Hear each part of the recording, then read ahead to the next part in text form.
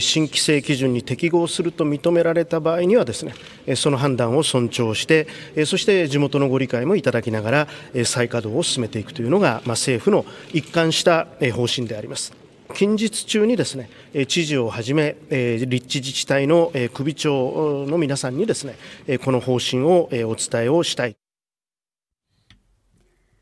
柏崎刈羽原発6、7号機は先月末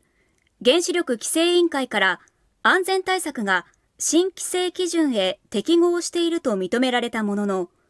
新潟県の米山知事は再稼働に慎重な姿勢を示しています。